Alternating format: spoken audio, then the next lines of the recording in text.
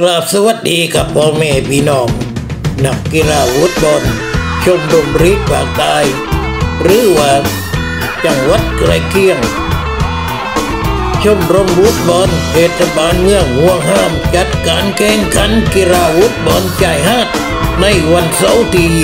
21 กันยายน 2567 อย่าลืมอย่าพลาดอย่ารักโอกาส สนามกีฬาฟุตบอล ชายหาดเทศบาลเมืองบวงห้ามนะครับ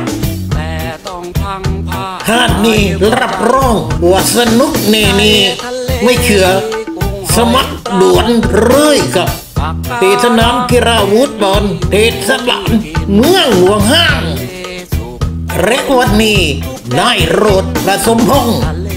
ที่ปรึกษาประธานชมรมฟุตบอลรักสงขลามากับนาง มารีรักประสมพงษ์ผู้กัดฝ่ายประชาสัมพันธ์หากมีรับรองได้ว่าสนามฟุตบอลกายหาดหมู่ห้ามไม่ผิดหวังเน่เน่การังขอเชิญชมนักกีฬามาจากอำเภอต่างๆมาทำการฝึกซ้อมชมบรรยากาศได้ตั้งแต่บัดนี้เป็นต้นไปนะครับ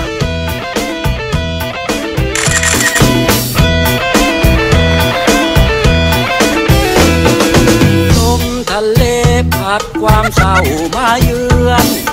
คอยย้ำเตือนว่าทะเลจะวิกฤตใต้ทะเลต้องล้มตายหลายชีวิต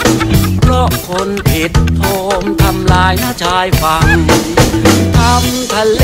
ให้คงเป็นทะเล เติมทะเลด้วยแนวรั้วปะการังโลกทะเลจะได้ดูไม่น่าชัง โลกมนุษย์ก็จะยังคงน่าอยู่ ทะเลก็มีชีวิตท